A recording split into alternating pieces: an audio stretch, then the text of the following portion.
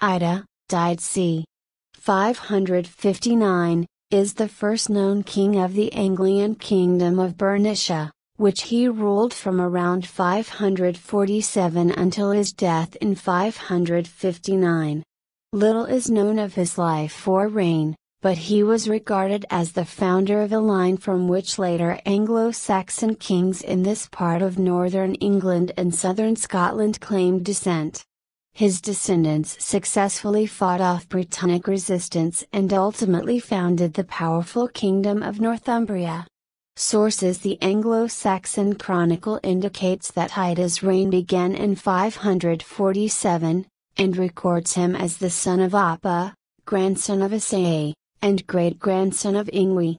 Likewise, the Historia Brittonum calls him as the son of Appa and the first king of Berneich or Bernicia.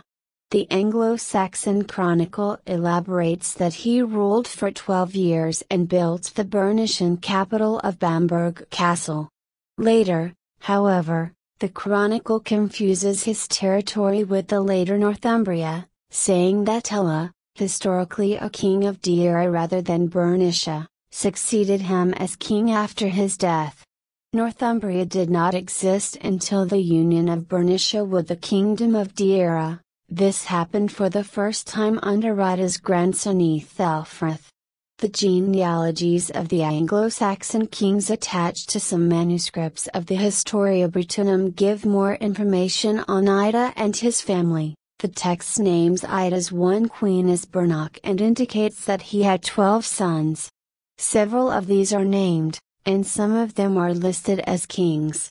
One of them, Theodric, is noted for fighting against a Brittonic coalition led by Urien Rheged and his sons. Some 18th and 19th century commentators, beginning with Lewis Morris, associated Ida with the figure of Welsh tradition known as Fflamddwyn, flame bearer. This Fflamddwyn was evidently an Anglo-Saxon leader opposed by Urien Rheged and his children, particularly his son Owain, who slew him. However, Rachel Bromwich notes that such an identification has little to back it. Other writers, such as Thomas Stephens and William Forbes Skene, identify Fflamddwyn instead with Ida's son Theodric, noting the passages in the genealogies discussing Theodric's battles with Urien and his sons. At the time Ida ruled, Bernician control did not extend far inland from the coast.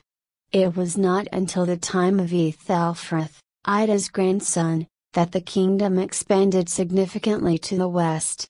This is supported by the Historia Brittonum's description of fighting between Bernicians and the native Britons of the area, indicating ongoing resistance. It is also supported by the scarcity of 6th century Anglo Saxon archaeological finds from further inland.